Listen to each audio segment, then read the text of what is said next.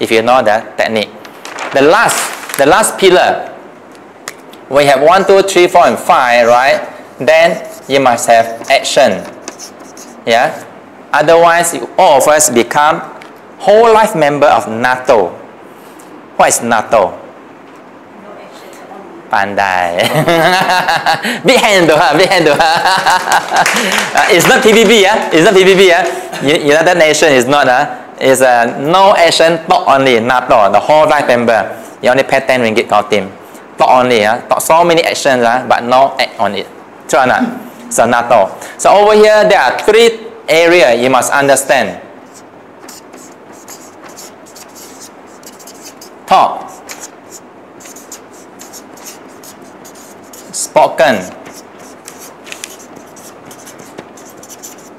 physical action ladies and gentlemen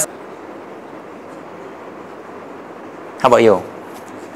Physical comfort uh, let's say let's say like this uh, um, we want to buy a car Ferrari for example or BMW in that case uh, what comes first? Or you want to visit a place USA or UK what comes first? Thought, yes, correct. Just now someone said here, right? Okay, this is the first. The second? Yes, spoken. The third? Action. But most of us, all this while is like this, right?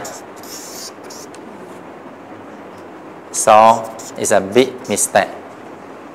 You ask yourself today, you ask yourself now at this moment of time, you ask yourself now, yeah, Whatever you want to achieve, have you achieved it? If not right, which part gone wrong? Which part you did the most over these three areas? Most of the time is here, right? For example, job. We keep on changing jobs.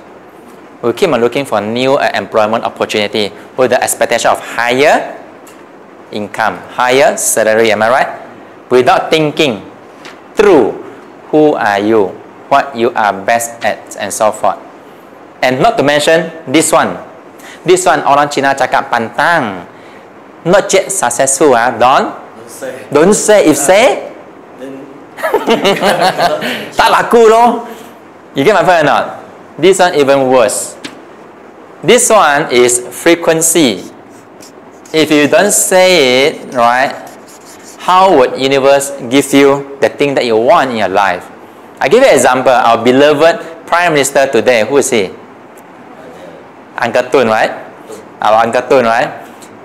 Still remembers uh, his uh, vision back then. What is his uh, vision to the nation? Huh? What was that? Yes, correct. Yeah, done already. Uh. I'm done already. Yeah? What he did with the vision, he asked architect to do a big model in Putrajaya, how would the new government uh, building is, same frequency, then you will achieve. So ladies and gentlemen, these are the five pillars of success if you want to achieve whatever you want to achieve in your life. So thank you for your listening. So any question, I open to the floor.